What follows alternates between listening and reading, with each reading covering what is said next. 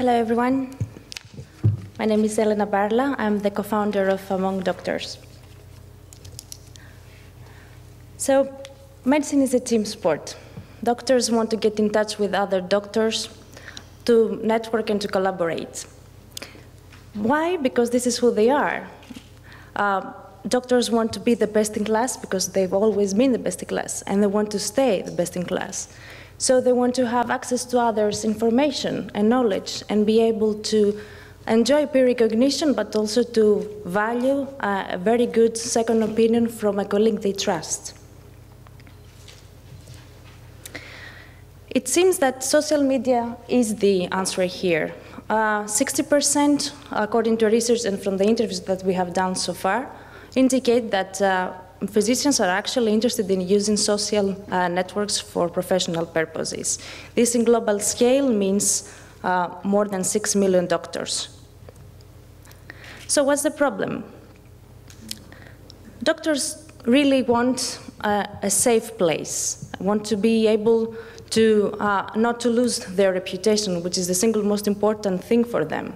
And they don't want to lose their time filtering through irrelevant to their needs information, either from uh, irrelevant sources or unreliable ones.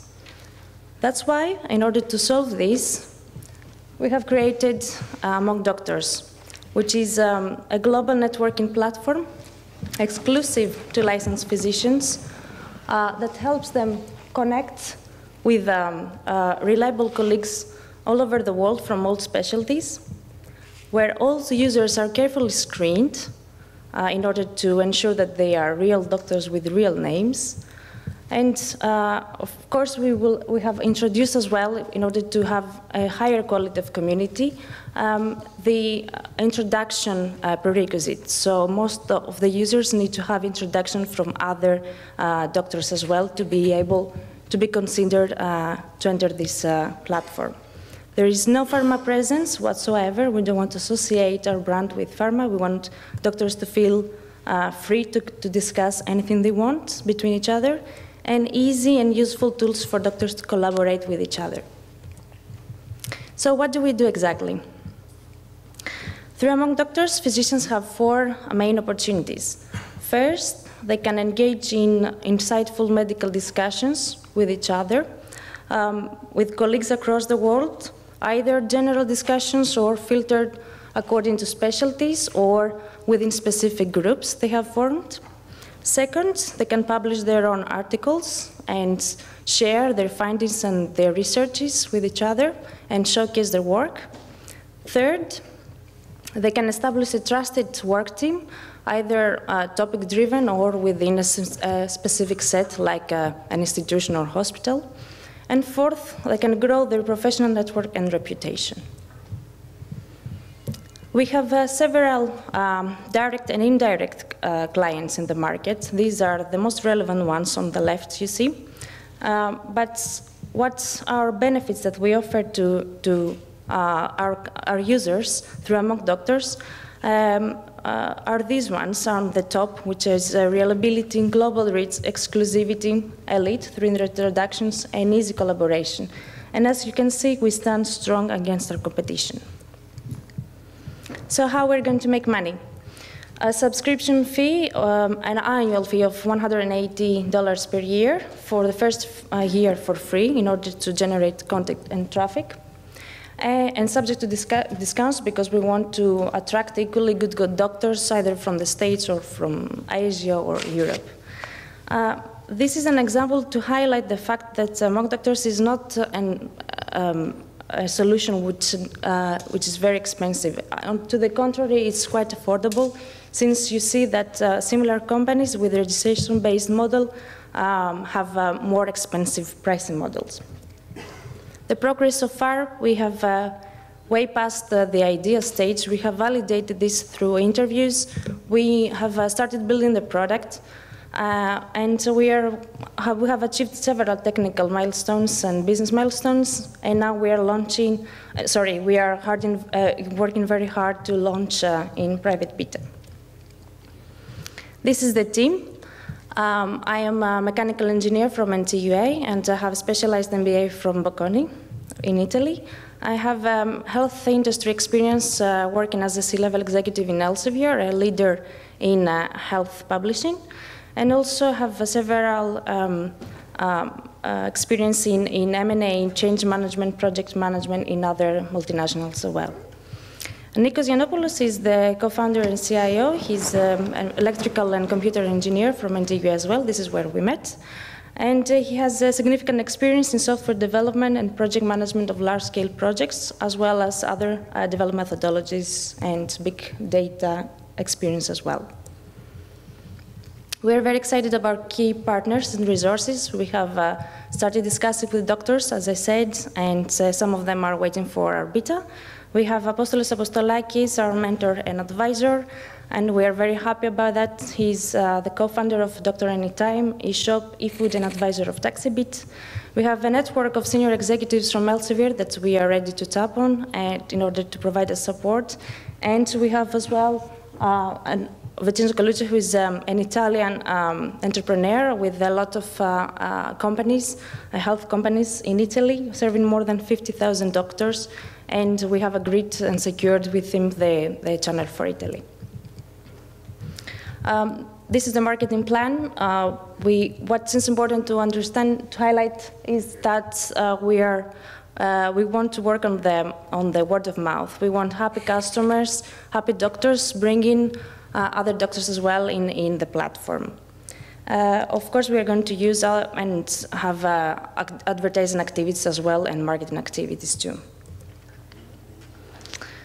This is the cost structure, typical internet uh, case, uh, company case cost structure. Uh, only addition to that is the fact that we will need also a lot of um, uh, screening. So we have incorporated as well the, the screening costs uh, in, to ensure the, uh, Uh, the reliability of, of the users. This is our five-year performance. Uh, by the uh, year of 2019, we have planned uh, a possible exit uh, through an acquisition. We have uh, estimated on 150 million dollars revenue by then and more than a million users. Here, it's important to, uh, to say that we have some assumptions made. We have incorporated the fact that from the first year, which is free, until the second year, which is uh, uh, registration-based, there is going to be a significant loss of users. So we have incorporated that to be uh, thorough, and also we have incorporated uh, churn rates plus uh, um, newcomers that will be able to, new users that will be able to um, find out about us and register, not through introductions, but through marketing, which is a small percentage as well. This is the development plan. Uh, we are asking $200,000 in order to complete the product development, uh, hiring also uh, other de software developers.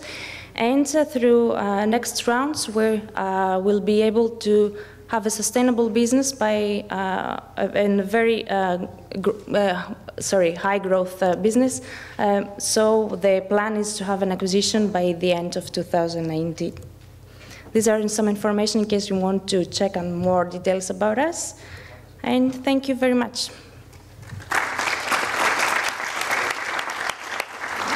Any questions?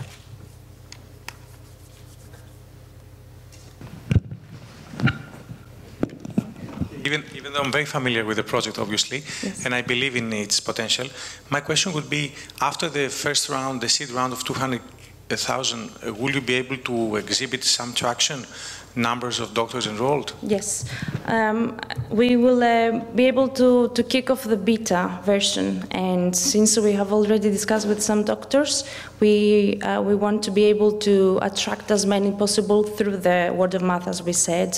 But of course, we are going to, to accelerate more uh, after the, uh, the completion of the product. So yes, the, the answer is yes. I'm, I'm saying just because it says that with the 200K, we will have just a product development. Yeah. It should also include the launch with, uh, with some traction in a specific specialty, I assume. Yes, exactly. One or two specialties, exactly.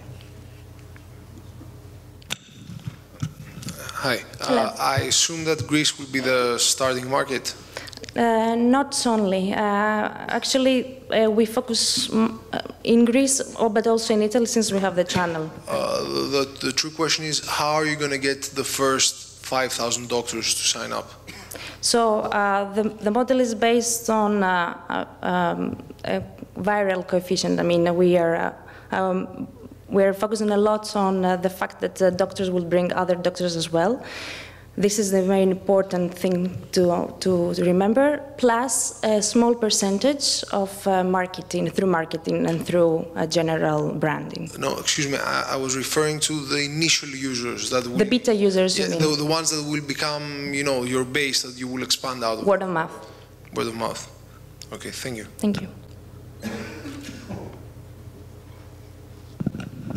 So, um, quick question on the, um, what do you envision to be sort of uh, this technology used for the most? Is it going to be more like sort of LinkedIn, which is biographical information, or going to be more content-based, like Q&A? So Do can you I repeat mean, the question? Well, do you expect doctors to sort of ask each other questions on specific subjects around, let's say, specialties, or is it more sort of networking, biographical information? It's actually both. Uh, it's going to be networking and it's going to be also a collaboration tool. So we have uh, narrowed down to target users. These are the, the guru profile, the contributor, who is an experienced doctor who wants to share information and give back to the medical community. And he writes a bunch of articles and uh, participates in uh, medical events and so on.